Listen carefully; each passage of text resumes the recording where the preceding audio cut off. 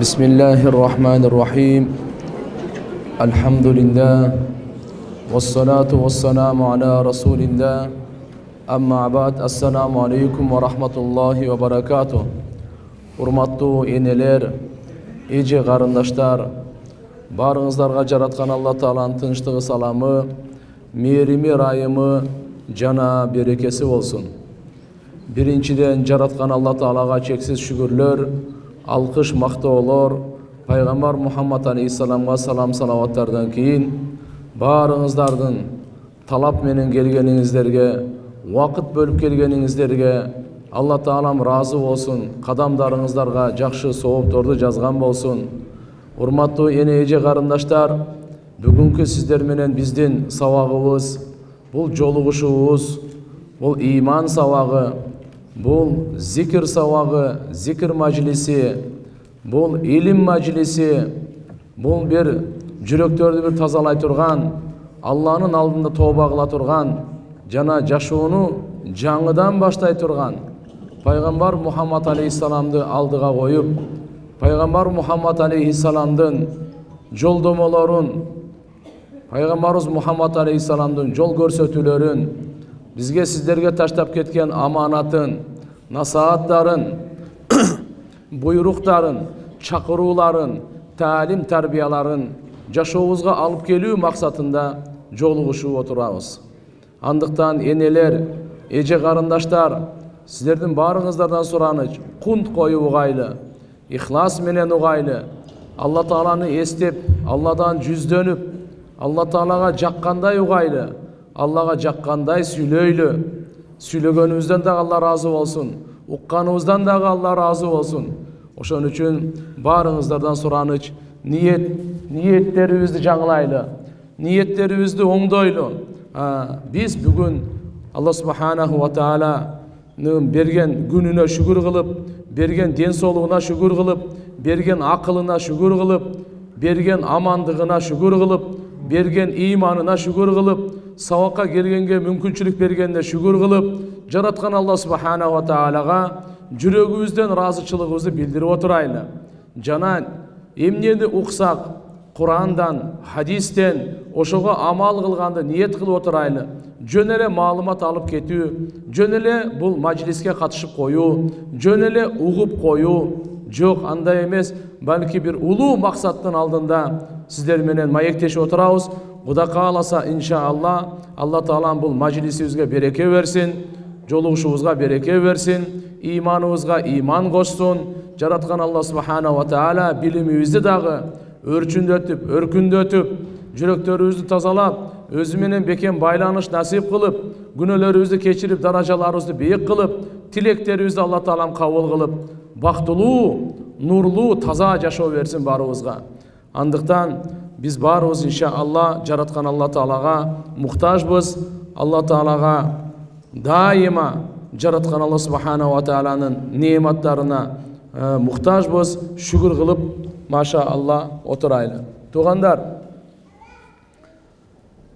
келиңиздер азыр эми канча жашообуз калды бири бирибизди жакшы көрүп жашайлы бири бирибизди сыйлап жашайлы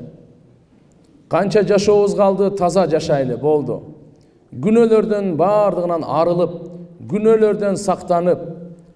жараткан алланы карап жашайлы алладан коркуп алладан үмүт кылып жашайлы бул ааламдын кожоюну жаратуучусу башкаруучусу сизге бизди дагы алла таалам жоктон бар кылган өзү татынакай көз берди көргөнгө укканга кулак берди алла таалам альхамдулилля жүрөк берди баардык мүчөлөрүбүздү толук тартиптүү кылып тегиз кылып алла субханаху ва таала жаратып эми бизди бактылуу болсун деп асмандан китептерди түшүрдү акыркы китеп курани каримди алла таала түшүрдү сиздерге биздерге жашоонун жолдомосу жүрөктөрү тазалай турган ар бир инсан эркек дагы аял дагы жаш дагы кары дагы бактылуу боло турган ошол курани каримди чечмелөө үчүн курани каримди түшүндүрүү үчүн курани каримди жеткирүү үчүн пайгамбар мухаммад алейхисаламды алла таала акыркы пайгамбар кылып тандады бүткүл ааламга мээрим кылып тандады негизги пайдубалы мээримдүүлүк ырайымдуулук андыктан пайгамбарыбызды алла таала бүткүл ааламга ырайымдуу кылып жиберди өзүн ушундай мээримдүү кылып жиберди алып келген шарияты ырайымдуу жашоону үйрөтө турган шарият алып келген дини ырайымдуу жашоону үйрөтө турган соодагерлер ырайымдуу болсун энелер ырайымдуу болсун балдар ырайымдуу болсун бийлер ырайымдуу болсун кошуналар бири бирине ырайымдуу болсун күчтүүлөр алсыздарга ырайымдуу болсун бийликтегилер жөнөкөй элге ырайымдуу болсун байлар кембагалдарга ырайымдуу болсун эркектер аялдарга ырайымдуу болсун алсыздарға райымдуу болсун көпчүлүк азчылыкка ырайымдуу болсун ырайымдуу жашоо алып келди пайгамбарыбыз мухаммад алейхисаламдын сиздерге биздерге алып келген жашоосу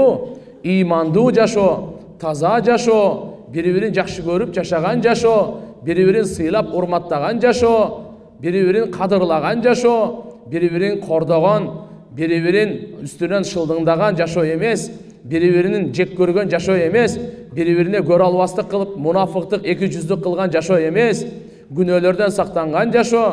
укуктарды сактаган жашоо милдеттерди аткарган жашоо ошон үчүн пайгамбарыбыз мухаммад алейхисаламды алла таала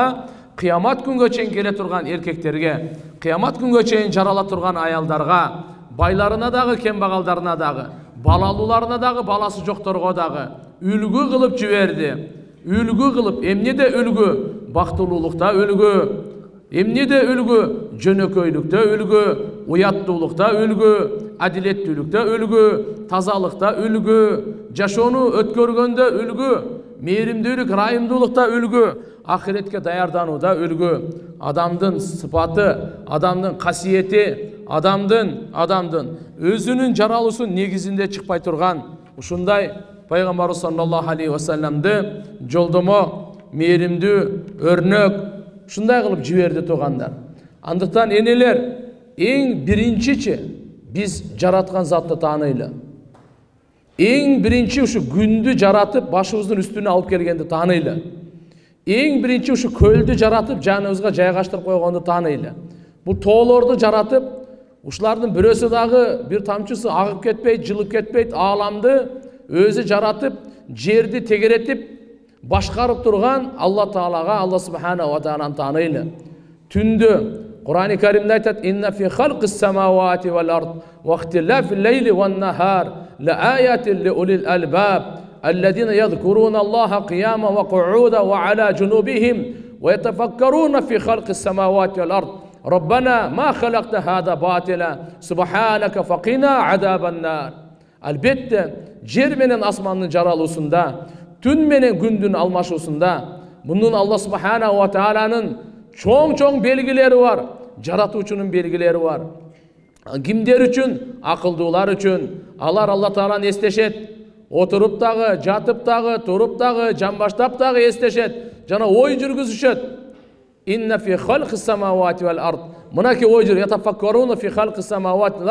алар ой жүргүзүшөт карачы кандай асманды алла таала жаратты. Жылдыздарды булуттарды жамгырларды карларды буларды кандай кереметтүү алла жаратып койгон айды кандай күндү кандай жаратып койгон түндү кандай күндүздү кандай жаратып койгон жерди кандай жаратып койгон алла бир жери шорлуу кээ бир жери молду кээ бир жери таштуу кээ бир жери зоолуу кээ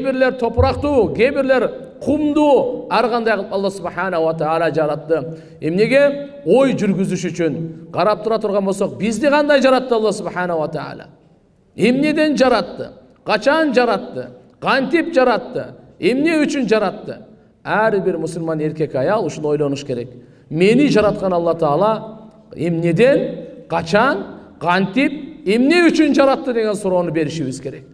ушул суроолорго жооп куранда алла таала айтат жаратуучу өзү жооп берет пайгамбар мухаммад алейхисаламды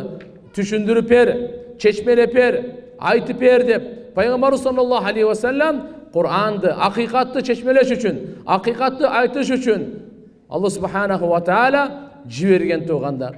андыктан урматтуу эне эже карындаштар эң биринчи биз жаратуучубузду тааныйлы бизге өмүрдү эч ким бере албайт ешкім эле турат алладан башка күн сайын жараткан алла өмүр берип атат бүгүнкү күнү өмүрүбүз бар экен ошон үчүн мына дкга келдик мен дагы келдим сиздер дагы келдиңиздер өмүрүбүз бар экен канча деген көз жумуп кетти ал келе алган жок бүгүн ден соолугубуз бар экен ошон үчүн келдик ооруп аткандар бар эле тиши ооруган ичи ооруган алар келген жок бул алланын неаматы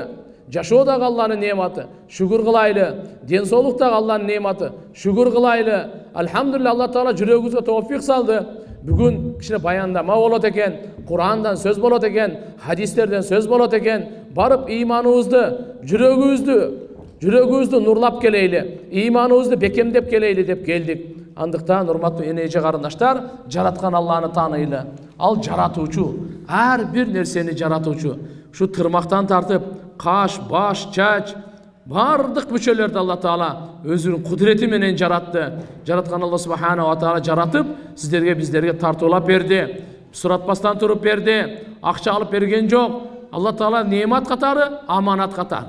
берди мына биздин ушу денебиз ушул бейишке кирет кудай сактасын ушул же дозокко кирет башка дене эмес ар бир мына ушу алла субханаху ва мына ушу биздин денебизди жаратып денебизге буйруктарды берди денебизге жаратып алла денебизге буйруктарды берди көз көзгө буйруктар бар. Тил тилге буйруктар бар. Кулак кулакка буйруктар бар. Мээ мээге буйруктар бар. Кол колго буйруктар бар. Алкым алкымга буйруктар бар. Пут путка буйруктар бар. Уяттуу жерлерге буйруктар бар. Кайсы адал кайсы арам. Кайсыны алла субханаху ва таала буйрук берсе ошону аткарайлы эмнеден тыйса андан тыйылайлы мынакей алла субханаху ва таала көздү бекер бербептир бизди алла таала чоң неамат кылып берди шүгүр кылсын деп берди көздү туура иштетсин деп берди арамга иштетсин деп берген жок тилди алла таала жаратты сиздерге биздерге неамат кылып берди мына сүйлөп атабыз мына түшүнүп атабыз ошо тилди алла субханаху ва таала шүгүрү кайсы экен жакшы сөздөрдү сүйлөгүлө жумшак сөздөрдү сүйлөгүлө пайдалуу сөздөрдү сүйлөгүлө алла ыраазы болгон сөздөрдү сүйлөгүлө адамдардын жүрөгүнө бейпил сала турган кубаныч сала турган рахат сала турган ушундай жакшы сөздөрдү сүйлөгүлө эки адамдын башын бириктире турган сөздү сүйлөгүлө дүйнөдө ахиретке пайдасы тие турган сүйлөгүлө эң улуу сөздөр курани карим эң улуу сөздөр алланын зикири эң улуу сөздөр алла субхана ва таала тасбихи ошон үчүн урматтуу эне эже карындаштар бул дене жөнөкөй дене эмес бул дене жараткан алла субханаху ва таала бизди өзүнүн буйруктарын аткарыш үчүн берген өзүнө шүгүр кылып жашаш үчүн берген ошон үчүн эң биринчи жараткан алланы тааныйлы ден соолук дагы алладан келет акыл дагы алладан келет амандык дагы алладан келет тынчтык дагы амандан келет жашоо дагы амандан келе алладан келет. Бир учур келет алла субханала тааланын тарабынан жашоонун ордуна өлүм келет. Денебизден жан чыга турган күн бар ошону унутпайлы ошону эстеп жашайлы. Күн сайын тойдо болсок дагы ашта болсок дагы жаназада болсок дагы үйдө көчөдө болсок дагы бала чака менен болсок дагы кандай күнү башыбызда келбесин алланын акыркы күнүн унутпай жашайлы туугандар жүрөктү таза кармап жашайлы туугандар келиңиздер намаз окуй турган дүйнө ушул дүйнө кабырга барып эч ким намаз окубайт акыретте эч ким намаз окубайт намазды ушул жерде окуйбуз зикирди ушул жерде кылабыз ошон үчүн иншаалла биринчи алланы тааныйлы жараткан алла таала курани кариминде мындай деп айтат фаланухиянаһу хаятан тайиба ман амила салихан ким жакшы амал қылса тілі менен туура сөз сүйлөсө чын сөз сүйлөсө тілі менен алла разы болгон сөзді сүйлөсө а көзі менен құлағы менен бардық денесі менен кыскасы айтканда салих амал туура амал қылса алдабаса жалған сүйлөбөсө қалп айтпаса мунафыктык кылбаса бирөөнү ушактабаса бирөөнү каргабаса бирөөгө жала жаппаса жалган күбөлүккө өтпөсө тилин сактаса тили туура болсо тили бузулбаса жүрөгү оң болсо жүрөгү бузулбаса жүрөгүндө текеберлик жок көрө албастык жок кара ниеттик жок өч алуу кек сактоо деген жок жүрөгүндө мунафыктык эки жүздүүлүк жок жүрөгү таза болсо нурлуу болсо ошондой эле баардык мүчөлөрү алла субханала таала айтат ким жакшы амалдарды кылса эркек болсун же аял болсун айырмасы жок муминун ыймандуу болсун ыйман менен жакшы амал болсо алла убада берип атат биз аларга эң татынакай эң таза эң берекелүү эң бактылуу жашоо беребиз дейт алла таала урматтуу энелер келиңиздер амалыбызды оңдойлу алла убада берип атат мен сіздерге бактылуу жашоо берем дейт акчасы жок бактылуу болобуз чырайы жок бактылуу болобуз бала чакасы жок бактылуу болобуз бийлиги жок бактылуу болобуз нерселери жок бактылуу болобуз алтыны жок бактылуу болобуз күмүшү жок бактылуу болобуз алла субханаху ва бактылуулукту нерселерге байлаган эмес нерселерге көз каранды кылган эмес бактылуулукту алла таала өзүм берем амалга берем деген ким амалын оңдосо тоодо жашайбы айылдабы асмандабы жерде айырмасы жок алла субханала таала өз кудурети менен кандай жашоо берип атат бактылуу жашоо берет берекелүү жашоо берет ырайымдуу жашоо берет кубанычтуу жашоо берет көңүлү ачкан жашоо берет алла субханала таала ошон үчүн урматтуу эне эже карындаштар келиңиздер баарыбыз аллага жаккан амалдарды кылып жашообузду өткөрөйлү өзгөчө умму салама деген энебиз пайгамбарыбыз саллаллаху алейхи вассаламдын жубайы бир жолу пайгамбар саллаллаху алейхи вассаламга келди дагы айтты о алланын элчиси куранда баардык эле эркек тууралуу айтат экен эй ыйман келтиргендер деп эле эй мындайлар тигиндейлер деп эркектер тууралуу эле айтылат экен эмне үчүн биз аялдар тууралуу аят түшкөн эмес эмне үчүн биз аялдар тууралуу бизге дагы өзгөчө кайрылуулар болгон эмес деп умму салама деген энебиз пайгамбарыбыз саллаллаху алейхи вассаламга кайрылат да болбосо курани каримде кайсыл жерде айткан болсо алла таала эй адамдар эркектер деп анын ичинде аялдар деле бар аялдарга деле кайрылуу ал аялдарга деле тиешелүү да өкүмдөрчү бирок ошентсе дагы бизге өзгөчө дегенди суранганынан алла субханаху ва таала ошол замат эле пайгамбарыбыз мухаммад алейхисаламга аялдарга байланыштуу аят түшүрдү. Ахзаб сүрөсүндө мынакей аят түшүрдү. Алла ва таала ушул жерде айтат. Аялдарды дагы өзгөчөлүгүн айтат. Кайсы аялда он сыпат болсо алла таала аны дүниеде дагы ахиретте да бактылуу кылат. Кайсы аялда ал аял ким гана болбосун араб болобу араб эмес болобу пайгамбарыбыздын доорундабы кыяматка жакынбы тоодо шаардабы жашпы карыбы айырмасы жок кунекпи сулуубу байбы кембагалбы акпы карабы айырмасы жок аял заты ким ғана болбосун ал келинби кайненеби ал чоң энеби айырмасы жок аял зат ким гана болбосун он сыпаты болсо алла субханаху ва таала жаратуучу алла таала өзү убада берип атат өлүмдү же жашоону чечим чыгарган алла таала өзү убада берип атат эмне деп алла таала аларга кечиримдүүлүк мындайча айтканда күнөөлөрүн кечирем улуу соопторду берем дүниеде дагы ахиретте дагы аларды ешкімге қор қылбайм алардың даражасын биік қылам бұл дүниеде де қанша өмір сүрсе бақтылуу өмір сүреді бұл дүниеде қанша жашаса жүрегі тыныштанып жашайды ақиретке барғанда алла субханала тағала улуу сауапторду беріп бейішінен орын береді бейішінен орын береді бүткүл дүниені алла тағала қайра тірілткенде шерменде қылбайды жүзін қара қылбайды қор қылбайды қыжалат қылбайды алла тағалаларды разы қылып бейіштен орын береді ошол аялдардын он сыпаты кайсы ошол аялдарды алла таалага алла субханала таала жага турган сыпаттар кайсы мына ушуну биз билип алайлы бул адамга айтты алла таала айткан жок кыргыздарга өзбек казактарга деп же урууларга айткан жок кайсы ууру бактылуу кайсы ууру бактысыз деп жок аял заты адам өзі бактылуу болот адамдын кийими бактылуу болбойт адамдын ушу алтыны бактылуу болбойт адамдын минген машинеси бактылуу болбойт алар нерселер алардын баасы бөлөк сиздин бааңыз бөлөк сиздин бактылуулугуңуз бөлөк нерселер менен байланышы жок бактылуулук адамдын ички сыпаты бактысыздык адамдын ички сыпаты кандай эле уяттуулук адамдын ички сыпаты уятсыздык дагы адамдын ички сыпаты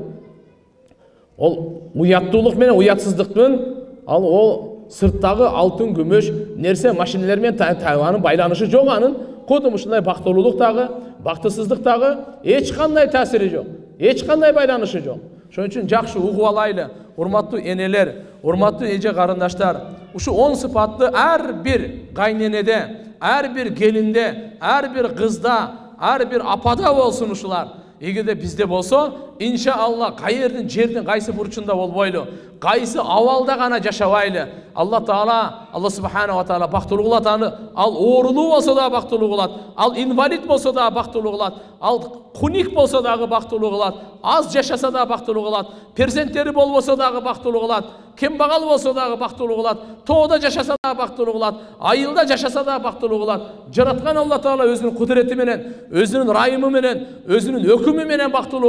ошондуктан ошол он сыпатты жакшы эстеп билип алайлы. Күн сайын ошого мээнет кылайлы күн сайын ошо сыпаттын тегерегинде жашайлы. Башка жака өтүп кетпейли алла субханала таала айтат иннал муслимина вал муслимат биринчи акыйкатта чындыкта албетте мусулман эркектер жана мусулман аялдар вал муминина вал муминат.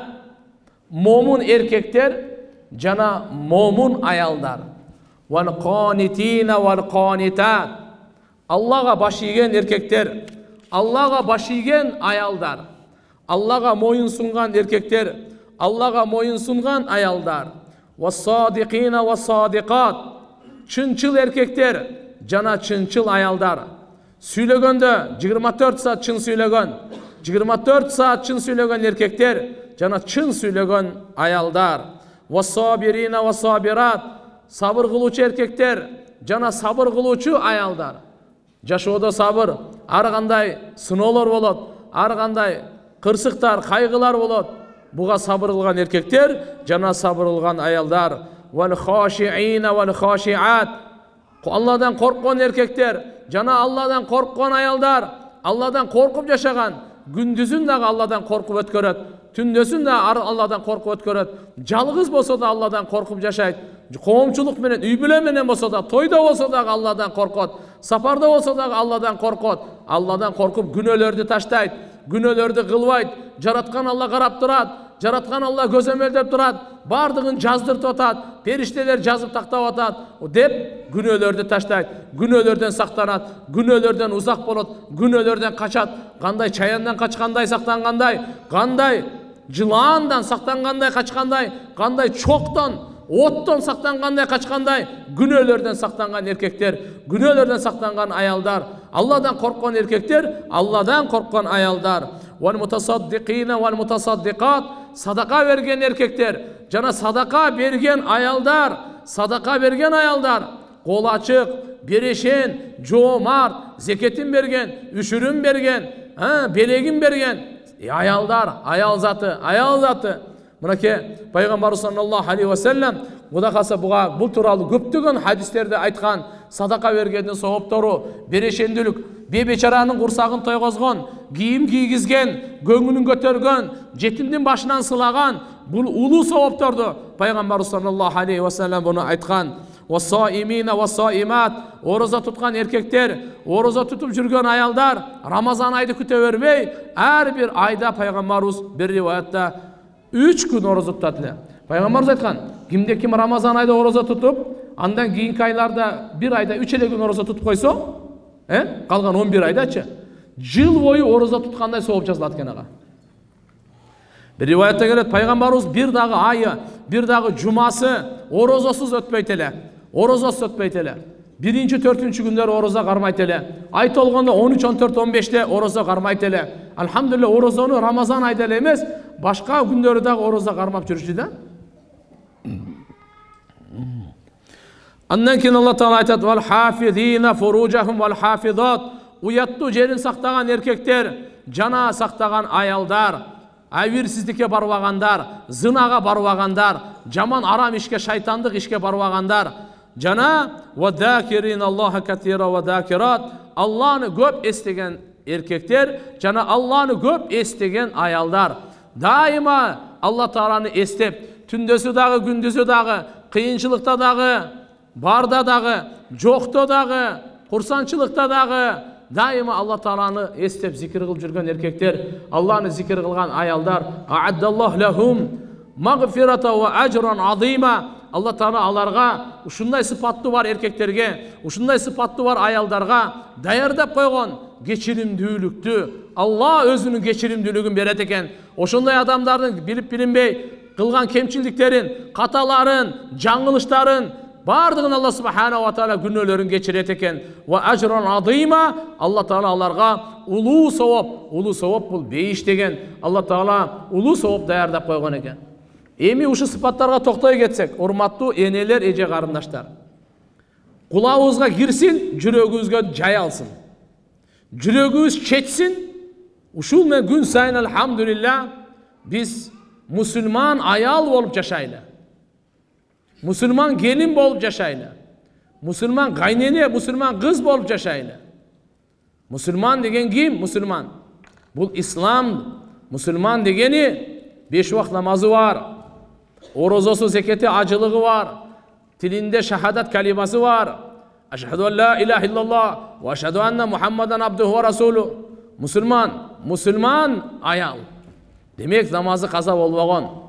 намазы қаза болбаған енелеріміздің намазы қаза болбосын қыздарыбыздың намазы беш уақыт намазға бекем болайлы алла тағалаға бір күні беш жолы қайрылғанға арыз муыныбызды айтқанға шүкіршілігімізді айтқанға алладан береке бақыт сұрағанға разычылығын бейішін сұрағанға улуу амал намаз бейіштің ашқычы урматтуу ене бейіштің ашқышын ала жүріңіз. Бейіштің ашқышы сіздің жаныңызда болсын сіздің қолыңызда болсын сіздің жашооңузда болсын сіздің жашооңуздун кооздугу сіздің жашооңуздун чырайлуулугу намаз менен даарат менен алла субханаху ва улуу бенделери улуу ушундай жаратып койгон бенде аялдары ошолордун баардыгы намаз окушкан намаз менен байланышкан намазды ешқашан ташташқан емес намазға көңіл бұрып оқыған өз уақытысында оқыған қаза қылбай оқыған сәждаларды жақсы қылған үркілерді жақсы қылған аллаға тәсбих айтқан аллаға құлшылдығын көрсеткен алла субханаху ва тағалаға ибадат қылышқан намаз демек беш уақыт намаз туғандар урматтуу енелер урматтуу эже қарындаштар кішкенекей қыздары балдары жеті жашында пайғамбарымыз айтты намазға үйреткілі намазға үйреткілі жеті жашында қызыңыз барбы небереңіз барбы намазға үйретіңіз уыл болсын қыз болсын он жашқа барып егерде оқымай қойса жалқаулық қылса тентектік қылса біраз ұрып қойыңыз біраз чымчып қойыңыз біраз көчкө ұрып қойыңыз талу жерлерге емес бірақ кішкене сүрі болсын атаның сүрі ененің сүрі он жашарда намаз оқысын бала атаны көріп тұрып арқасына тұрып намаз оқысын қызы апасының жанында тұрып жолық салып намаз оқысын үйренсін тарат алғанды үйренсін жуынғанды үйренсін тазалықты үйренсін ата енесінің сөзін ұққанды үйренсін намаз тәрбие қылады жақсы егерде иншалла біз намазға тәрбие қылып қойсақ намаз намаз барлық жамандықты жашаудан шығарады ата енесіне борыкер болады ата енесіне күйімді болады ата енесін жақсы көрген болады ата енесіне қызмат қылған болады ата енесін жақсы көрген болады ата енесінің сөзінен шықпаған болады. Учур келеді ата енесі көз жұмғанда арқасынан ұмытпаған болады. Болбосо сіз тәрбиелайсыз сізге құран алған сізді ойланбаған сізді ұмытып қалған сізге бәрібір не болса ошондой қыздарды тәрбиелағанда не керегі бар анан көрек сіз қызыңызды иманды тәрбиелаңыз уятты тәрбиелаңыз аны исламға тәрбиелаңыз аны иманға тәрбиелаңыз аны илимге аны боорукерликке аны такубалыкка тәрбиелаңыз күнөөлөрдөн узак болгонго тәрбиелаңыз абийирдүү намуздуулукка тәрбиелаңыз кыздарыңызды мынакей алла субханала кантип тәрбиелайбыз тәрбиянын башы намаз намазыбыз жок болсо кандай анан ошон үчүн намазды пайғамбар саллаллаху алейхи уассалам айтып қойды көзімдің қарегі деді намазда рахат бар намазда тыныштық бар күнәлердің кешірілісі бар алланың мақтаусы бар аллаға саны алқыш бар құран кәрімнің оқысы бар дуаның қабыл болусы бар намазда рүку бар намазда сәжда бар пайғамбарымызға салауат бар истиғфар дуа бар намазда емне деген ибадаттарды топтап қойған алла тағала періштелердің ибадатының жинағын бір намазға бізге беріп қойған ошон үчүн урматтуу энелер эже карындаштар биз бүгүнкү күнгө чейин ким намаз окуп атса алла ыраазы болсун ошол намазга бекем болсун хушу хузу менен окуйлу алладан коркуп окуйлу берилип көңүл буруп эптеп септебей жакшылап окуйлу ушул намаз кыямат күнү эң биринчи сурак намаздан болот кимдин намазы жакшы чыкса башка амалдары жакшы чыгат бул намаз сизге бейиште бейіштің ачқычы болады қабырда сіздің башыңызда жаныңызда тұрады қабырға барғаныңызда башыңызда атаңыз болбойт апаңыз болбойт күйеуіңіз болбойт балаңыз болбойт қызыңыз болбойт бір туғаныңыз болбойт. Сіз менен қабырда намаз болады намаз болады ошо намазды таштабай жүрүңүз ошо намазды таштабай жүрүңүз сиз намазды таштабаңыз намаз сизди эч качан намаз сизди эч качан таштабайт алланын ибадаты ибадаттардын эң абзели ибадаттардын эң улуусу беш убакыт намазды алла субханала тағала бізге берді еркектер мешітте барып оқысын аялдар үйде оқысын сапарда да болсын қайсы учурда болсын ооруп аткан болсо туруп окуганга күч жокпу отырып оқығыла отырып оқи албайсызбы жатып оқығыла бирок намазды таштабагыла ушуга чейин айтты урматтуу эне чарчап каласыз кээде адам баласы ооруп калат ошондуктан намазды туруп окуй албасаңыз отуруп окуй бериңиз окуңуз отуруп бирок таштабаңыз отырып оқи албайсызбы жатып алып оқығанға шарият рұқсат беріп атат бұйрық беріп атат отырып оқи албағандар жатып алып башымен ишара қылып оқысын бирок таштабасын дейді қарашы пайғамбарымыздың көзінің қареги пайғамбарымыздың жүрегінің төрінен орын алған пайғамбарымыздың курсант қылған пайғамбарымыз мұхаммад алейхисаламның жүзінің нұры ошо намазды біз кантип таштап коебуз барс жоқ қайда баканбаев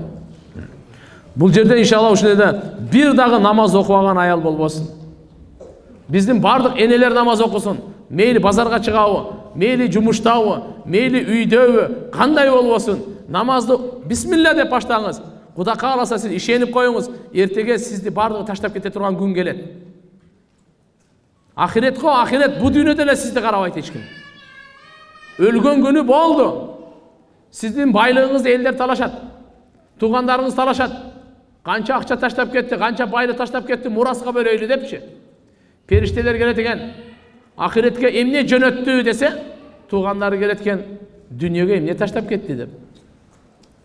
Ошон үчүн алдыга жиберейли намаз сизди күтүп алат урматтуу эне урматтуу эже карындаш намаз сизди күтүп алат тиякта күтүп алат намаз тиякта эле пайдасы эмес бул дүйнөдө дагы пайдасы бар. Сизди күнөөдөн токтотот алла тағала айтады алла айтады намазда ушунча таасир бар ушунча нур бар ушунча күч бар ушунча береке бар танха анил фахша уятсыздықтан тоқтатады әуелсіздіктен тоқтатады жылаңаштықтан тоқтатады шайтандықтан тоқтатады беті жоқтықтан тоқтатады намаз уәл мункар күнәлерден тоқтатады жалған сөйлегеннен тоқтатады текеберліктен тоқтатады көре албастықтан тоқтатады арам нәрселердің барынан тоқтатады қылмыскерліктен тоқтатады ташбоордуктан тоқтатады бұл намаздың тәсірі бирок намазға ғана жақшылап дәрат алыңыз шашылбай дәрат алыңыз үйде жақшынакай жай намазды салыңыз ошо альхамдулилля бир бөлмө ушу бир бөлмөңүздө намаз окуй турган бөлмө болсун ошол жерде книжный шкафчик болсун куран коюлсун курандын котормосу турсун пайгамбарыбыздын өмүр баяны турсун момундардын бакчасы деген китеп турсун фазаил амал деген китеп бар таңдалған хадистер деген кітаптар бар баланы тәрбиелоо бактылуу үй бүлө деген китептерди сатып алыңыз үйүңүзгө коюп коюңуз ошол жерде сиз намаз окуп таспиңиз болсун ошол жерде жай намазыңыз болсун ошол жерде үйүңүз таза болсун денеңиз таза болсун кийимиңиз таза болсун намаз окуй турган жер таза болсун алла таалага кайрылып алла таалага жалдарап жалбырап о ааламдын жаратуучусу ааламдын башкаруучусу күн сайын мага өмүр берүүчү жүрөгүмдү соктуруучу канымды айланткан жаным анын колунда ахиретим анын колунда бейишим анын колунда аллахым мени кечиргин ата энемди кечиргин мага жакшылыкты бергин ата энеме жакшылык бергин бала чакама жакшылык бергин ыйман бергин дүнүйөдө я алла жетишерлик ырыскы бергин я алла кабырда қабырда бейіштің бақшасы қылғын түбөлүктүү ақиретте шерменде қылбагын ақиретте уят қылбагын күнөөлөрүбүздү ачып адамдарға көрсөтпөгүн е алла амалдарыбызды оңдогун ыраазычылыгыңды кечиримдүүлүгүңдү бейишиңди ырайымдуулугуңду бердиң деп бергин деп сурай турган сиздин бир бөлмөңүз болсун үйдө кичинекей бөлмө бир чекеге кылып коюш керек ошол жерге кирип апасы намаз окуп атат келин болсо тамак бышырып атат қайненесі намаз оқып бүтті эми қайненесі қазанды кішкене бір қимылдатып тұрса келін де намаз оқып алады келінге қайнене айтсын бірінші айтсын кир жуу тамак бышыр дебей намазыңды окудуңбу окуй элексиңби бол тез тез тарата алып намаз окуп ал ага чейин мээри мен чай пайын коюп турайын шыпырып турайын же болбосо өзү биринчи окусун андай биздин сурай турган нерсебиз ушул болсун күйөөсү үйүнө келгенде биринчи ушуну сурасын тамак даярбы эмес намаз окудуңарбы деп сурап коюң эй тамак эле тамак дей бербей аялы келип биринчи сурабасын анан канча акча таптың таксовать эттиңби эмне бала болду бүгүн айлыгыңды алдыңбы эмес беш убакыт намазды мечитте окудуңузбу э сурап коелу бири бирибизден намаз намаз акбар эмне деген касиет алла тағала жерден барлық өкімдерді жерден парыз қылса намазды алла субханала тағала миражда берген асманда берген алла пайғамбарымызды шақырып көтеріп даражаларды көрсетіп бейіш тозоқты көрсеткеннен кейін қайтарда белек қылып берген ошон үчүн урматтуу эне эже карындаштар келиңиздер намазға бекен болойлу. Кимдин каза намаздары болсо каза намаздарын окусун нафил намаздарды окусун биздин жашообуз намаз менен нурланып турсун. Намаз менен кооздолуп турсун. Бизге каниет каниет керек каниет. Бизге шүгүр керек бизге такыбалык керек бизге чынчылдык керек. Ушуга биринчи пайдубалыңыз биринчи ташыңыз биринчи тепкичиңиз беш убакыт намаз беш убакыт намаз жашооңузга береке каалайсызбы жүрөгүңүзгө тынчтык каалайсызбы ырыскыңызга береке каалайсызбы бакыт каалайсызбы бардық қыжалатшылықты жоқ қыла тұрған күшті қалайсыз анда намаз ешқандай басқа нәрсенің керегі жоқ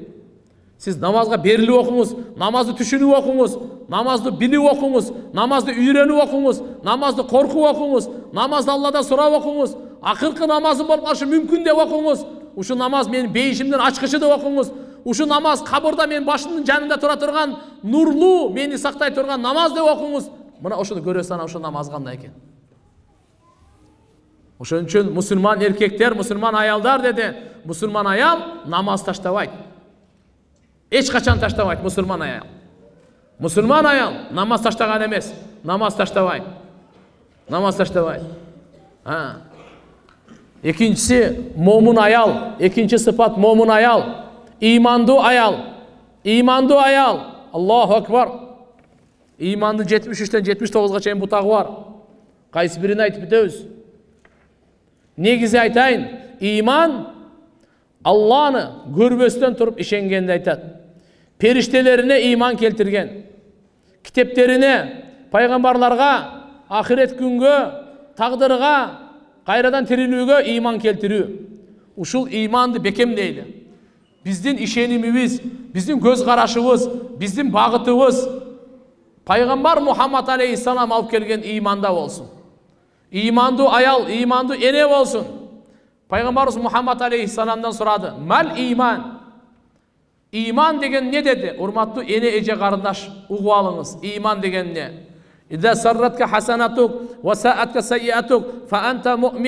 егер де сізді жақсы іштеріңіз құрсант қылса жаман іштеріңіз сізді қыжалат қылса анда сіз имандысыз анда жүрегіңізде иман бар намаз оқымай қойғаныңыз сізді қыжалат қылып жатады зикір қылмай қойғаныңыз қыжалат қылып жатады құран оқымай қойғаныңыз қыжалат қылып жатады сүннетменен жашамағаныңыз сізді қыжалат қылып жатады жалған сөйлегеніңіз қалып айтқаныңыз қарғағаныңыз жала жапқаныңыз ушақтағаныңыз жаман ойлағаныңыз сізді қыжалат қылып жатады жақсы іштеріңіз сізді сүйінтіріп жатады қандай садақа беріп жатасыз сізді сүйінтіріп жатады зикір қылып жатасыз дуа қылып жатасыз құран оқып жатасыз намаз оқып жатасыз сізді сүйіндіріп жатады ораза тұтқаныңыз сізді сүйіндіріп жатады күйеуіңізге баш игеніңіз сізді сүйіндіріп жатады анда жүрегіңізде иман бар анда. Иман бар. Пайғамбарымыз айтып жатады жақсы іштер сізді қуантырса жаман іштер сізді қыжалат қылса болды сізде иман бар бір жолы пайғамбарымыз саллаллаху алейхи уассаламдан сұрады иман афдал имандың қайсы қасиеті ең ұлы ең абзелі қайсы деді эле пайғамбарымыз айтты ассабр уассамаха сабырдуулугу жана кечиримдүүлүгү мына ким сабырдуу кечиримдүү болсо анын ыйманы эң бекем ыйман ошол эң ыймандуу аял эң ыймандуу келин эң ыймандуу эже эң ыймандуу карындаш эң ыймандуу кайнене ким экен эң сабырдуу жана кечиримдүү сабырдуу жана кечиримдүүлүк сабырдуулук жана кечиримдүүлүк сабырдуулук кечиримдүүлүк кайсы үйдө болсо ал үйдө береке болот ал үйдө ажырашуу болбойт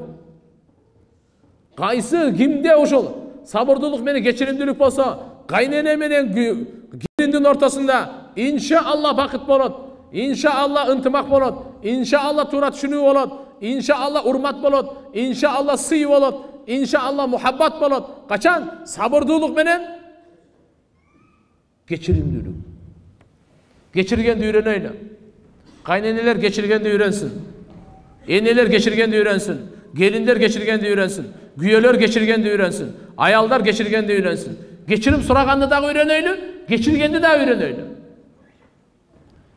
ката кеттиби кечирим сурап коюңуз ката кеттиби кечирим сурап коюңуз капа кылдыңызбы кечирим сурап коюңуз туура эмес сөз сүйлөп алдыңызбы кечирим сурап коюңуз кечиктирбеңиз кечирим сурагандан кечиктирбеңиз кечирим сурагандан уялбаңыз кечирим сурагандан арданбаңыз кечирим сурагандан намызданбаңыз кечирим сурагандан мен кыйынмын мен жогорумун мен улуумун мен карымын деп мен баймын да мен паланчамын деп жок жок жок жок ката кеттиби моюнга алганды үйрөнүң ката кеттиби кечирим сураганды үйрөнгөн үйрөнүңүз алла субханала таала кечирүүчү алла кечирбесе бирөө да бейишке кирбейт алла кечиргенди жакшы көрөт кечирүүчүлөрдү жакшы көрөт бири бирин кечиргендерди жакшы көрөт бири бирин кечиргендерге чакырат биз кечирбестен бейишке кіре албайбыз бейіштен орын ала албайбыз ошон үчүн кек сактабайлы кечиргенди үйрөнөйлү а муну кечиримдүүлүк жана сабырдуулук пайгамбар саллаллаху алейхи вассалам айтат эң бекем ыймандуу ушу дейт эң абзел ыймандуу ушу дейт урматтуу энелер эже карындаштар аллага ыйман келтирүүнүн мааниси эмне периштелерге пайғамбар китеп ақиретке иман келтірүүнүн мааниси эмне жакшы угуп алыңыз түшүнүп алыңыз бекем болуңуз ушу иманга иман бил гайб гайыпка иман келтирүү көрбөстөн иман келтирүү бейиш бар дозок бар ақирет бар эсеп китеп бар алла бар иман келтирүү көрбөстөн туруп ушуну иман деп айтат алла субханала тағала иман келтирүү алла тағала жоқтан бар қылған өзі жаратқан өзі күн сайын жашоо беріп жатады ырыскыны жалғыз шешет бейішті жалғыз шешет ким кіреді ким кірбейді өзі білет ким қанша жашайды қашан өледі алла өзі білет бардығы іштер мен мен іштерім алланың қолында дүниенікі дағы ақиреттікі дағы тіл менен дағы айтыңыз тіліңіз менен дағы айтыңыз жүрегіңіз менен дағы айтыңыз куллаху лилля алла пайғамбарымыз айтады құл айтқын ей иннал амра куллаху лилля иштин бардыгы дүниенің бардыгы ахиреттин бардыгы ырыскынын бардыгы өлүм жашоонун бардыгы ден соолук оорунун бардыгы пайда зыяндын бардыгы бардыгы алланын колунда аллага таандык тилиңиз менен айтыңыз жүрөгүңүз менен айтыңыз. Алла таала жоктон бар кылды бардан жок кылат бардыгын көзөмөлдөөчү өзү менин бактым алланын колунда өмүрүм алланын колунда жүрөгүм алланын колунда мээм алланын колунда иманым алланын колунда акыретим алланын колунда ырыскым алланын колунда бардыгы алланын колунда аллага таандыкпыз аллага кайтуучубуз деген бекем иман. Алла бактылуу кылат алла бактысыз кылат алла пайда берет алла зыян берет жүрөгүңүзгө бекем ыйман болсун аллага ишенген жыйырма төрт саат алла үмүт жыйырма төрт саат алладан жыйырма төрт саат алланы жакшы көрүү качан каерде болбосун ар бир дем алганда муктажбыз ар бир басканда муктажбыз ар бир караганда сүйлөгөндө муктажбыз адам баласы өтө алсыз муктаж алла таалага алла ешкімге мұқтаж емес алла жаратушы алла беруші алла көзөмөлдөөчү өң беруші түс беруші денсаулық әуір беруші даражаны көтеруші тура жолға салса ешкім адаштыра албайт алла адаштырса ешкім тура жолға сала албайт алла сақтаса ешкім аны жоқ қыла албайт алла жоқ қылса ешкім аны сақтай албайт бізге аллаға болған ишеним бекем болсын иман бекем болсын екіншіден құрани карим ақырғы китеби аллаға иман келтірелі құранға мына біздің жашообуздун багыты мына жашообуздун бизге чакыруусу мына курани карим жашообуздун жолдомосу пайғамбар мұхаммад алейхисалам жашообуздун жол башчысы көрсөтүүчүсү мээримдүү ырайымдуу жолду көрсөткөн ақиретке иман періштелерге иман өзгөчө өзгөчө урматтуу энелер сиз жалғыз емессіз урматтуу келін сиз жалғыз емессіз жаныңызда эки периште бар 24 саат сизден ажырабайт каерде гана болбоңуз эмне кылып атасыз баардыгын билип турат баардыгын жазып атат бул видеокамера. Эртеге кыямат күнү ошонун баардыгын сизге көрсөтөт ар бир адам өзү көрөт таразадан алдағанын да көрөт қарғағанын да көрөт ушақтағанын да көрөт жала жапқанын да көрөт құдай сақтасын зынасын да көрөт бардық арамдығын көрөт бардық жақшылығын көрөт сәждасын да көрөт дуасын да көрөт зикирин да көрөт садақасын да көрөт орозасын да көрөт ажылығын да көрөт жақсы сөзін дағы көрөт. Бардығы жазылған. Бардығы. Екі періште. Кирамин катибин урматтуу энелер эже карындаштар ушу периштелерди сыйлап жүрөйлү периштелерден уялып жашайлы пайгамбарыбыз айткан бул эки периште силерден эч качан ажырабайт эки учурдан башка биринчиси ажатканага киргенде периштелер кирбейт экен ошон үчүн дубасын окуп кирели бисмилля аллахумма инни ауду бика минал хубси вал хабаис бисмилля дедиңизби болду жин шайтандар жин инсандар ошолордун баардыгына көзүнө алла таала парда салып коет еркектерінен дағы ұрғашыларынан дағы аллахума инни ауду бика минал хубси вал хабаис дедіңіз бе болды алардан сақ боласыз алар тиішіп ору пору неме қыла албайды ошон үчүн ажаткана кирерде сөзсүз дуа бисмилля аллахума инни ауду бика минал хубси вал хабаис я алла мени жиндердин эркектеринен жана жиндердин аялдарынан сактагын деген дуа сол менен киребиз оң менен чыгабыз мынакей ошол учурда гана ажырайт деген экинчиси төшөк маселесинде гана ажырайт деген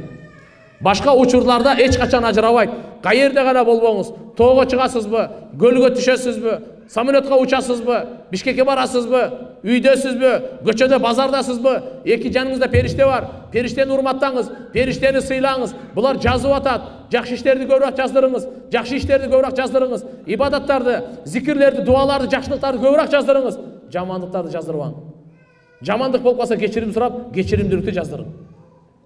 періштелерге иман келтіреміз. Жаныбызды алғанға періштелер келеді. Жаныбызды алғанға кім келеді? Жанды періште алады адам албайды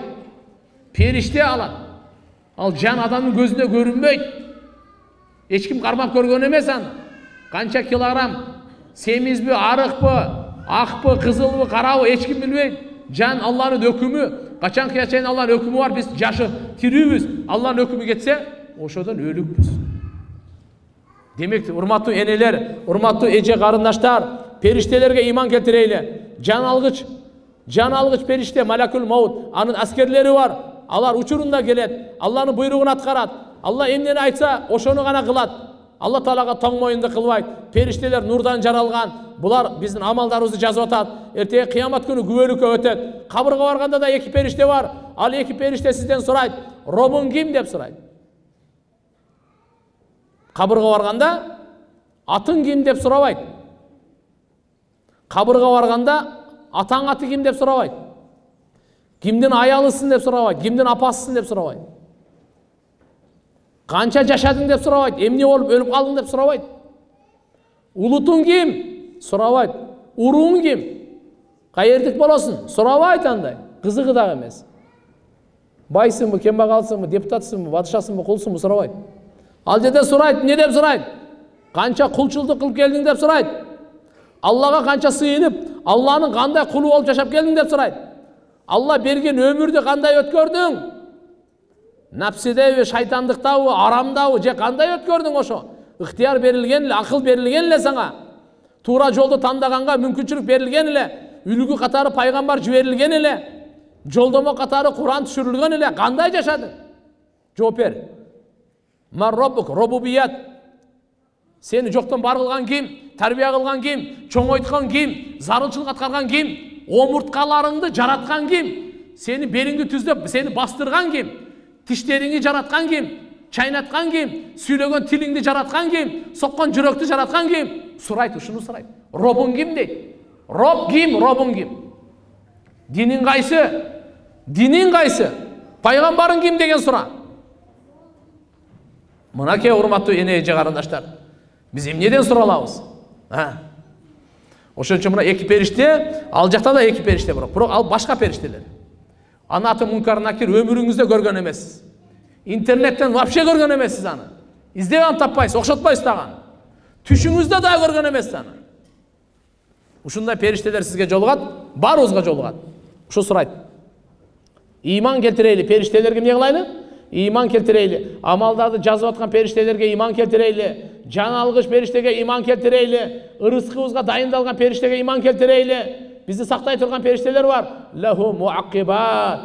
мин байни ядайхи ва мин халфихи алдынан аркасынан сактай турган периштелер бар яхфадунаху яхфадунаху мин амрилла алланын өкүмү менен алланын каалоосу менен сактайт бул периштелерге ыйман келтирейли пайғамбар мұхаммад алейхисалам ақырғы пайғамбар бұндан кейін пайғамбар келмейді жолбасшы келмейді пайғамбарымыз бүткіл аламдағы инсандарды құтқару үшін келген дүние ақиреттің бақытсыздығынан қордығынан құтқарушы үшін келген адамзаттың қанын малын жанын әуерін мал мүлкін барлығын сақташ үшін келген пайғамбар мұхаммад алейхисалам таныйлы иман келтірейлі арқасынан жашайлы қиямат күнге иман келтірейлі қиямат күн өлгеннен кейін тірілем деп жашайлы урматтуу эне урматтуу эже карындаштар келиндер өлгөндөн кийин тирилүү ак акыйкат чирип кетти жок болуп кетти бүттү эмес жети атаңызды тең көрөсүз кудай кааласа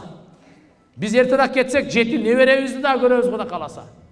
небере кыбыра чыбыра канчасы сиздин аркаңыздан келди уланган болсо ошонун баардыгын көрөсүз жылуураак суу алып келчи урматтуу эне эже карындаштар алла тағала қиямат күні залика яуму тағабун қиямат күнінің бір аты бар яумул жам барлығын топтой тұрған күн деген біздің атауыз чоң атауыз ошентип жеті емес он төрт он төрт емес жиырма барлық атаңызды көресіз иманды болса көреміз имансыздарды көре албайбыз иманды болса неберелеріңіздің барлығын көресіз чебере кыбыра барлығын көресіз барлығын алла тағала топтойды ошон үчүн өлгөндөн кийин тирилүүгө ишенип жашайлы өлгөндөн кийин тирилем деп жашайлы өлгөндөн кийин мен кайра тирилем тилиңиз менен айтыңыз өлгөндөн кийин тирилебиз деп үйдө айтыңыз үйдө сүйлөңүз ушу сөздү үйдө саар кечеле алтын күмүш буюм деп картошка абрикос дей бербей өлгөндөн кийин тирилебиз деген кичине сөз болсун күн темабыз болсун өлгөндөн кийин тирилүү бар алланын алдында баруу бар эсеп китеп бар әрбір сөзімізге есеп береміз әрбір қылған амалымызға есеп береміз алланың алдында малики яумиддин малики яумиддиндин мааниси ушул қиямат күнінің падышасы амалға ақысы беріле тұрған күннің падышасы жақсы ішке жақсы сөзге анын ақысы беріле тұрған күннің падышасы жаман сөзге жаман ішке анын жазасы беріле тұрған күннің падышасы ким аллах малики яумиддин маликул мулук барлық падышалардың падышасы чыныгы падыша қиямат күні алла тағала ушундай күнді даярдап койгон ар бир эркек аялдын кылган ишин акысын бериш үчүн даярдаган куранда алла таала айтат мен кыямат күнү жашырып койдум дейт жашырып койдум дейт ар бир адам эркек аял кылган ишинин акысын бериш үчүн жашырган бул дүйнөдө анча мынча күнөөлөрдүн жазасы берилбейт анча мынча жакшылыктын жазасы берилбейт толугу менен берилбейт. Баардыгын алла таала кыяматка сактап койгон. Бул дүйнөдө өзү жаза деле акысы деле көтөрө албайт. Ошон үчүн алла таала түбөлүктүү чечимин чыгарат ким бейишке ким дозокко амалына жараша чыгарат. Урматтуу эне эже карындаштар өлгөндөн кийин тирилүү ак деп жашайлы ушул момун аял деп ушуну айтат. Момун аял иманды аял иманды кыз деп кимди айтат аллага иман келтирген жалгыз шерик келтирбей периштелерине иман келтирген менин жанымда жүрөт жазып жүрөт баардык периштелерге пайгамбарларга иман келтирген пайгамбарларды алла тандап адам баласынын туура жолуна хидаятына жиберген китептерге иман келтирген алла курани каримди берди бизге мынакей бактылуу болсун деп жүрөктөрү агарсын деп кыямат күнү шапаат кылсын деп қиямат күні алла субханаху тағала даражасын биік қылсын деп құран берді иман келтірелі ақирет күнге қиямат күнге тағдырға иман келтірелі мына ушу иманды аял деп ушуну айтады sıfat. Üçüncü sıfat. Allah'a baş igen, Allah'a moyun sungan, Allah'ın taqdırına razı olgan, Allah'ın bergenine bölüp bergenine kança ömür verdi, kança ırıskı verdi, kança жашоо verdi, kança perzent verdi, oşoğa razı olgan. Kumu lillahi qaniti. Allah'ın aldığında korkup durgula, Allah'ın aldığında cügünüp durgula, Allah'ın aldığında moyun sunup durgula. Allah'a тоң мойынды қылбағыла аллаға тоң мойынды қылбағыла баш иебестік қылбағыла деп мынаке қонитат деп қандай аялдар екен аллаға баш иген аялдар түндесі дағы күндізі дағы аллаға баш иген аялдар бала чақасы барбы жоқпы қызықтырбайды аллаға баш иген қыздар келіндер андан кейінгі сыфатты айтып жатады шын сөйлеген біздің енелеріміз шын сөйлесін келіндеріміз шын сөйлесін тіндерінен жалған шықпасын тілдерінен шын сөйлесін алла айтады я аману وقولوا قولا سديدا يصلح لكم أعمالكم ويغفر لكم ذنوبكم ey имандуулар алладан қорқып жашағыла шын сөйлегілі тура сөзді сөйлегілі амалыңарды алла тағала оңдайды күнәлеріңерді кешіреді дейді біздің амалымыз қашан оңалады қашан тіліміз оңалса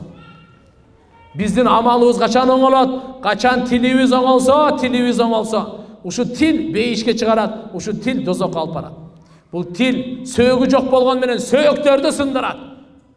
бул урушканды элдештире турган дагы досторду ажырата турган ушу тил болот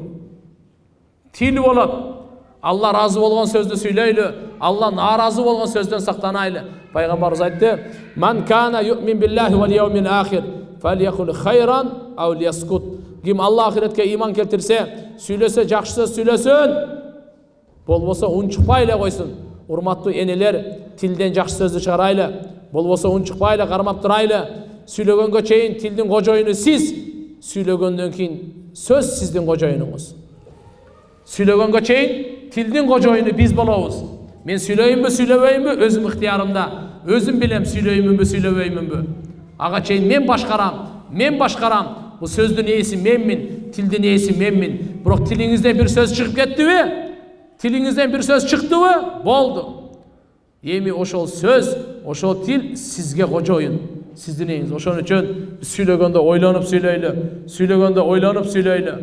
ар бир нерсени эле сүйлөй бербеңиз такталбаганды сүйлөбөңүз имишти сүйлөбөңүз мындай деген экен тигиндей деген экен деп ушакка кошулбаңыз бирөөнү жамандаса билип билбей өмүрү көрмөгөндү жамандабаңыз интернет интернетиңизди токтотуңуз баардыгын ушулардын лайк басыкта бир баракат болуп кошулуп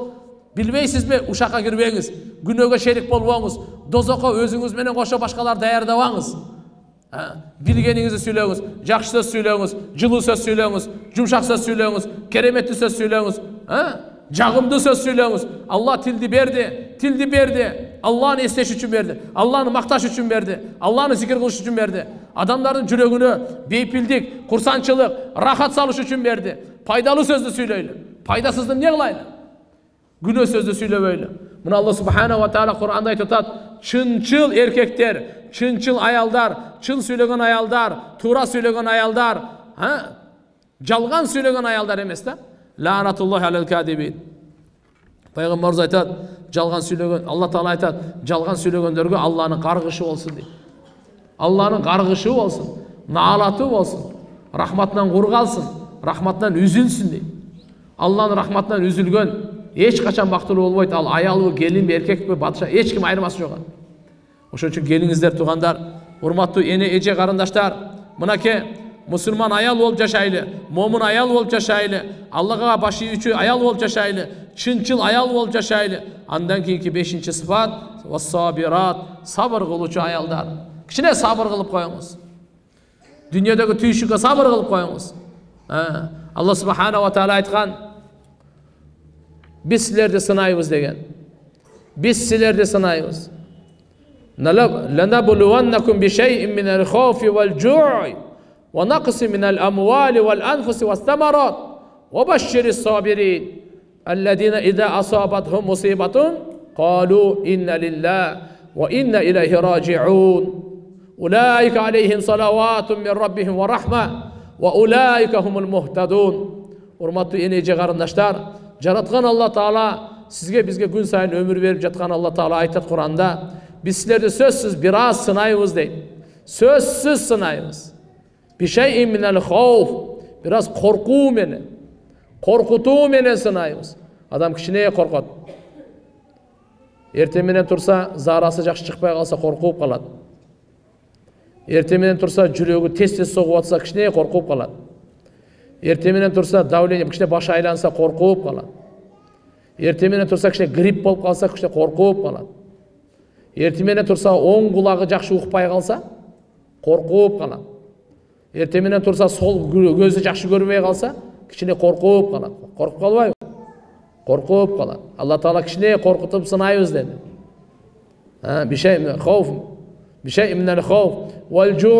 кичине ачкачылык менен кішкене ырыскыңарды тартып сынайбыз мал мүлкүңөрдү азайтып сынайбыз койлорду кичине каардан беребиз да биз азайтабыз мал мүлкүңөрдү уюңарды азайтабыз жылкыңарды кичине азайтабыз акчаңарды кичине азайтабыз дүкөнүңөрдү кичине азайтабыз бир аз кичине сыноо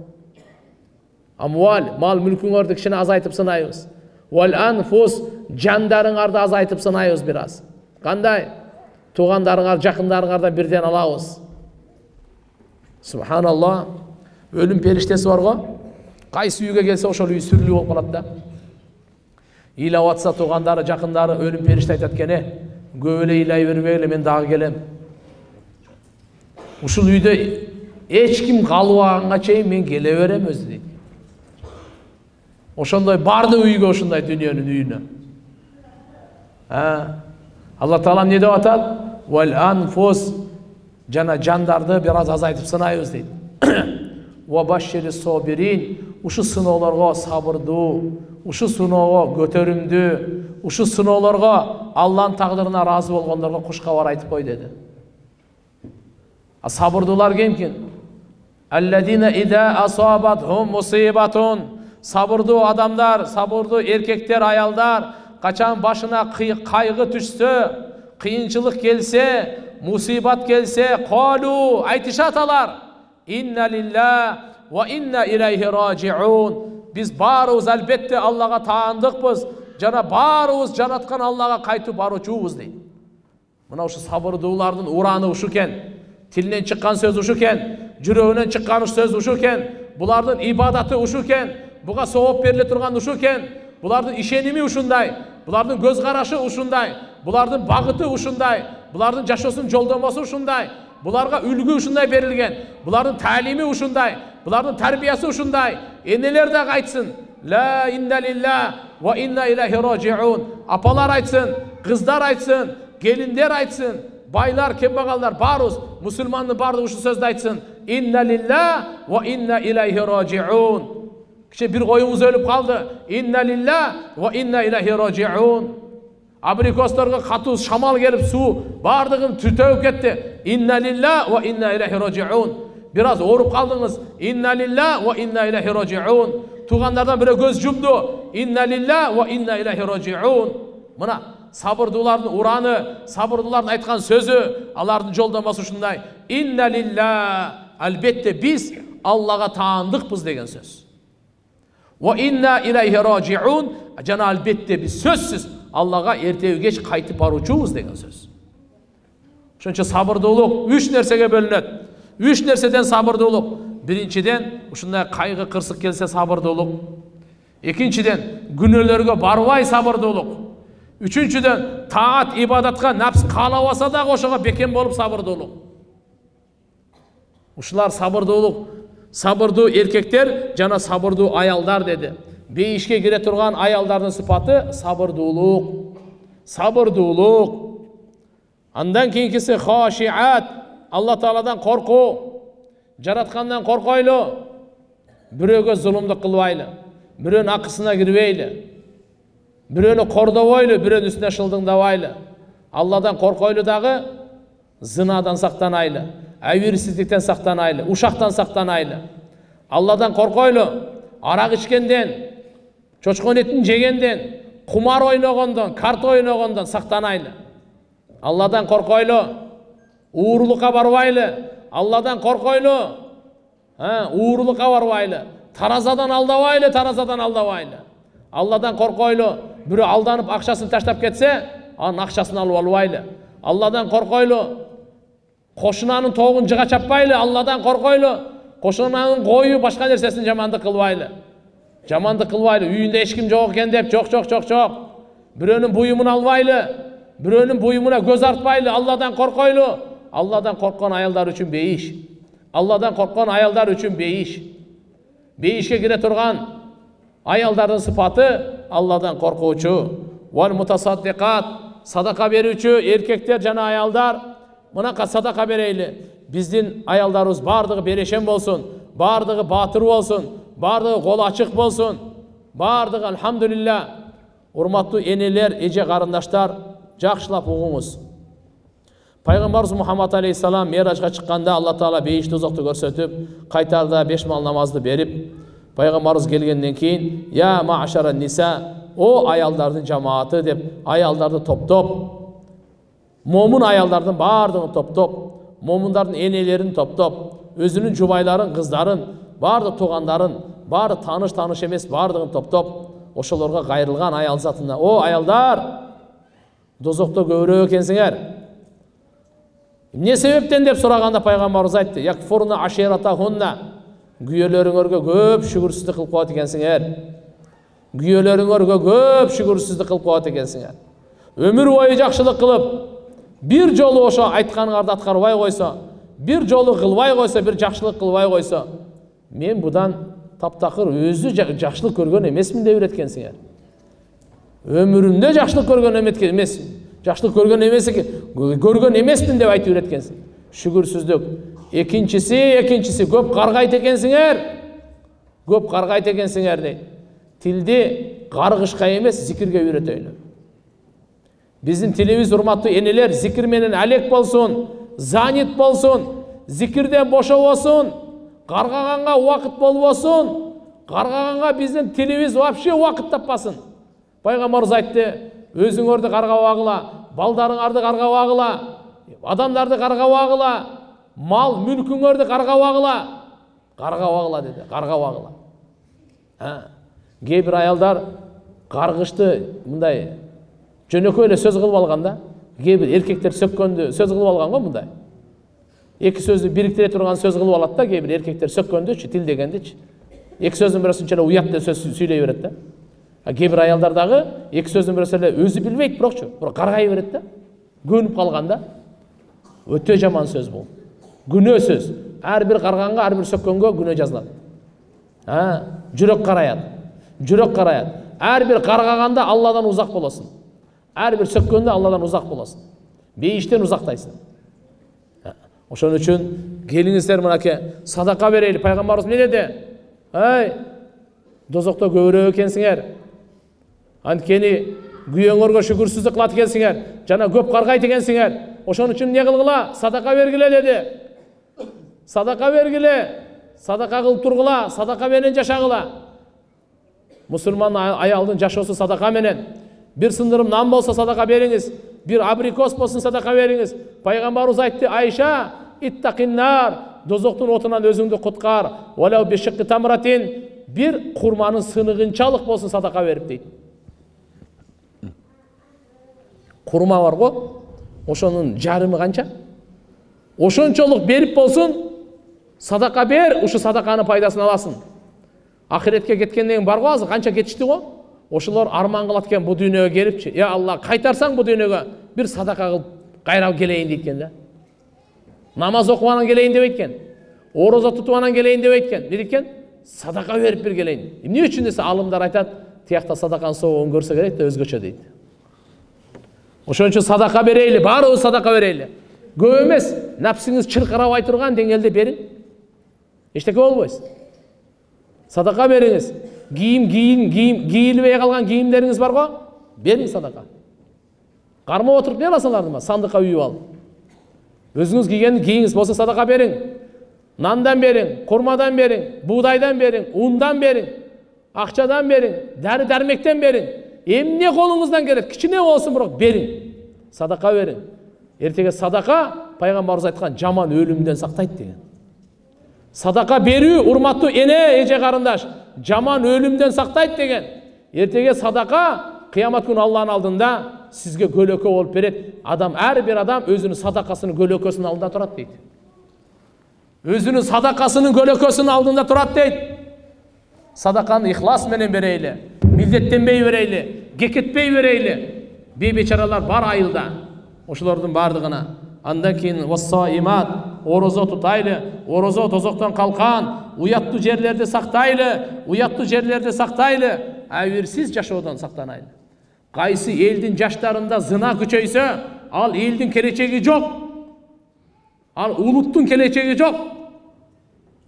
ошон үчүн алла таала бизге альхамдулилля ак нике менен кошулуп ак нике менен турмушка ак нике менен үйлөнгөнгө буйрук берген зынадан тыюу салган бул арам абийирсиздик иштен тыюу салган алланы көп естеген еркектер жана алла тағаланы көп естеген аялдар мына акыркы сыпат урматтуу энелер урматтуу эже карындаштар алланы көп эстеп жашайлы алланы көп эстейлі көп зикир кылайлы кантип ла илаха иллаллах ла илаха иллаллах ла илаха иллаллах урматтуу эне эже карындаштар эртең менен ушуну бир жүз жолу айтып койсоңуз эки жүз жолу айтып койсоңуз пайгамбарыбыз айткан ла иляха иллалланы айтқан адам дозаққа кірмейді деген бейішке кіреді қабірдің азабынан зикірден өткен құтқарушы амал жоқ деген зикір бұл шайтандан сақтайды деген зикір қылған сайын жүрек тазарады даража көтеріледі бейіштен бір дарақты келеді мөмөлі дарақты келеді саялу көлөкөлүү дарақты келеді бір құрматы келеді бардық пайғамбарлардың зикири бұл ла иляха иллаллах енелер миң жолу айтып койгула миң жолу айтып койгула нары бери басканча үйдү шыпырганча ла иляха иллаллах ла иляха иллаллах айта бериңиз шайтан сизге жакындай албайт жаман ой алып келе албайт сизге жаман ой кыял келет го жаман ой келет го жаман каалоолор келет го ла иляха иллаллахны жүздү басып коюң баардыгы жок болот ла иляха иллаллах ушул ааламдын жаны ушу урматы ушу үчүн алла бейишти жараткан ла иляха иллаллах үчүн бейишти жараткан пайгамбарларды жиберген китептерди түшүргөн баардыгы ла иляха иллаллахтын урматына зикир кылыңыздар урматтуу энелер я аyyuhalladina amanu zkurulloha zikran katira wasabbihuhu bukrata wa asila эй иман келтиргендер алланы көп эстегиле көп зикир кылгыла жана алланы аарулап тургула алла тааланы тасбихин айтып тұрғыла ертелі кеш субханалла деп тұрғыла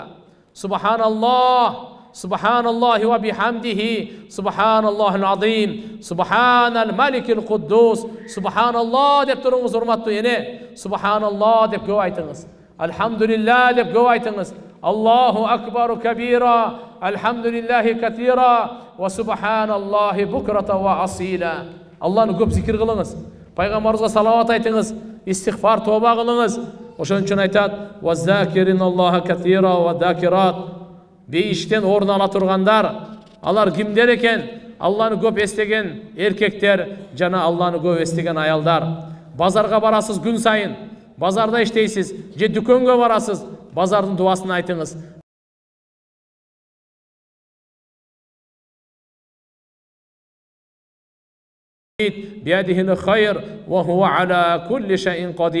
Бұл базардың дуасы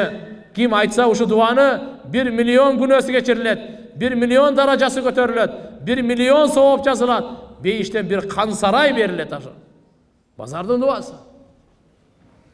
урматтуу энеже карындаштар келиңиздер жүрөгүбүздү зикир менен нурлайлы жашообузду зикир менен бейпилдетейли кабырыбызды нурлайлы ахиретибизде улуу даражаларды алайлы зикир көп кылайлы мен сіздерге дагы бир зикир айтайын. Бардық эне кыла алат бардық келин кыла алат анычы оңой эле да. Термизи шарифте келет пайгамбарыбыз мындай деген да ман кал ким айтса эркек болсун аял болсун ашхаду ан ла илаха иллаллах وحده لا شريك له إلها واحدا أحدا صمدا لم يتخذ صاحبة ولا ولدا ولم يكن له كفوا أحد. أنجل عشر مرات. أنجل أيتسانس بير منوت تايت قويس كتب له أربعين ألف ألف حسنة. أغا قرخ مليون صوب جزدت قنشة مليون؟ قرخ مليون صوب.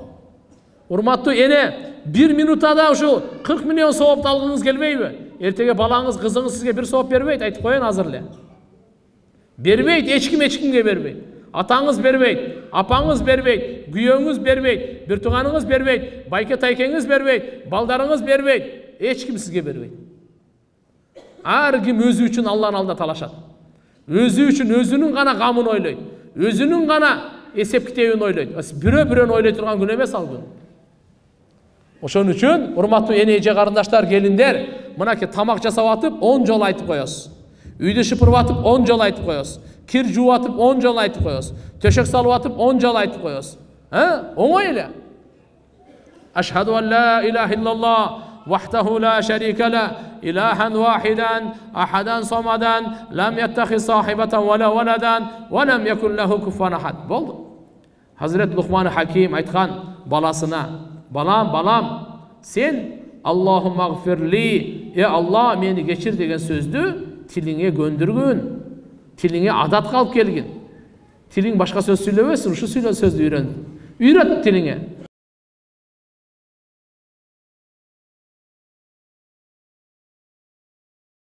шыққанда үйге кіргенде аллаху аллаху аллаху тіліміз автомат болып қалсын ушуга азыр кээ бир адамдар сөккөн жаман сүйлөгөнгө көнүп калган го алдаганга аферист деп кимде ошо жаман алдаганга көнгөндөр ошолор аферист да а биз тилибизди эмнеге мынага көндүрөйлү мына урматтуу эне эже карындаштар ушул он сыпатты алып келели жашообузга мусулман аял болуп жашайлы момун аял болуп жашайлы аллаға баш ийген аял болып жашайлы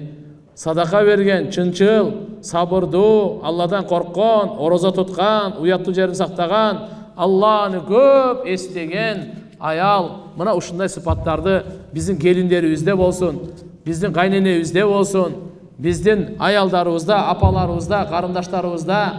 эже сиңдилерде баарында мына ушулар болсун мына ошондо анан биз бактылуу болобуз урматтуу эже эне карындаштар эми оюмча суроого дагы кезек келип калды окшойт жараткан алла таала баарыңыздар ушу үйдөгү иштерди кичине бир аз токтотуп келгениңиздерге талап менен келгениңиздерге чын жүрөктөн терең ыраазычылыкты билдиремин алла таалам баарыбызды баарыңыздарды бактылуу кылсын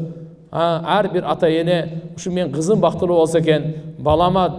ушундай ыймандуу келин туш келсе экен кызыма ыймандуу күйөө бала туш келсе экен дейбиз бардық алла тағалам жақсылықтарды нәсіп қылсын келіңіздер қанша жашасақ дағы бір бірімізге боркер болып бір бірімізге күйімді болып бір бірімізге пайдалы болып жашайлы туғандар ушул айылда бір елбіз бір жұртпыз ошон үчүн иман менен жашайлы. Бардық арам нерселердин эшигин жабайлы бардық жакшылыктардын эшиктерин ачайлы альхамдулилля үйлөрүбүздө ибадат зикир дуалар болсун мүнөзүбүз жакшы болсун пейилибиз жакшы болсун кичпейли болойлу кечиримдүү болойлу адилеттүү болойлу мынакей пайгамбарыбыз саллаллаху алейхи вассаламдын кулк мүнөзү менен мүнөздөлөйлү пайгамбарыбыз сүннөтүн үйрөнөйлү эртели кеч ар бир учурда пайгамбарыбыз сүннөттөрү бар ошо сүннөттөрдү үйрөнүп өзгөчө балдарды кыздарды тарбия кылганда энелер мойнуңуздарда чоң аманат бар ошондой эле чоң сооп бар чоң даража бар пайғамбар саллаллаху алейхи уассаламдан сұрағанда атаң менен апаң шақырып қалса кімге барабыз дегенде апаңа деген дағы шақырсачы апаңа деген дағы шақырсачы апаңа деген төртінші рет ана атаңа деген ененің аллаху акбар қадыры жоғары. Бұл аллаху акбар ененің ушунчалык мәртебасы жоғары. Ошон үчүн ата энелерди сыйлайлы баян бала чакаларды сыйлайлы. Альхамдулилля алла таалам берген ушу жашоону нурлап бактылуу өткөргөндү ибадат менен өткөргөндү шүгүр менен өткөргөндү күнөө кылбай өткөргөндү күнөөдөн сактанып өткөргөнгө аракет кылайлы. Ушу жакшылыктарды өзүбүздө калып калбасын. Энелер башка аялдарга даават бергиле башка аялдарга үйрөткүлө билгендер билбегенге биз бири бирибиз менен бири бирибизге жакшылыкты үйрөтүп жакшылыктарды жайылтып аракет кылайлы. Альхамдулилля таалимдерди үйдөгү таалимдер дааватка чыккандар бул тартиптери булардын баардыгын сактап алдыга жыла берейли жараткан алла субханала тағала баарыбызды эки дүйнөдө бактылуу кылсын ал эми азыр иншалла суроолорго кезек берели